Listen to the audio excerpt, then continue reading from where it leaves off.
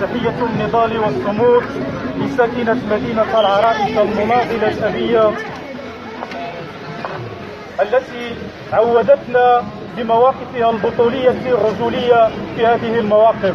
اليوم الشارع العرائشي كغيره من الشوارع العربية والإسلامية يقول وبقوة وغضب لا لقرار ترامب القاضي بالاعتراف بالقدس عاصمة لإسرائيل ونقل سفارته إليها. نحن نقول وبقوة وبما تبقى لنا من كرامة الكرامة التي دنستها الأنظمة العربية نقول القدس خط أحمر والقضية الفلسطينية قضيتنا وهذا ليس من باب العاطفة بقدر ما هو من باب المطالبة بإحقاق الحق وإعادة الأرض لأصحابها الشرعيين الحقيقيين.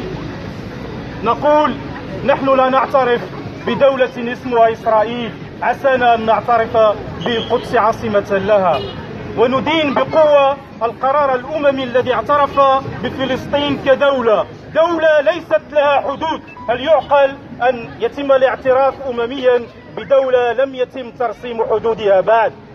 نحن نقول اليوم وندين الأنظمة العربية أيضا ونطالبها بتوحيد الصف وباتخاذ مواقف موحدة واحدة منظمة. تقول بكلمة واحدة لا نقبل إلا بالقدس عاصمة أبدية للدولة الفلسطينية. عهد الله لن نخون. عهد الله لن نخون. فلسطين في العيون. فلسطين في العيون. عهد الله لن نخون. عهد الله لن نخون. فلسطين في العيون. ترامب هذا ليس بجديد.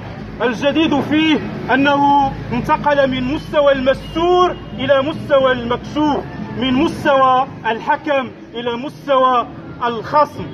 في الولايات المتحدة الأمريكية بقرار ترامب هذا أعلنت أنها خصما مباشرا وبدون لف ولا دوران للقضية.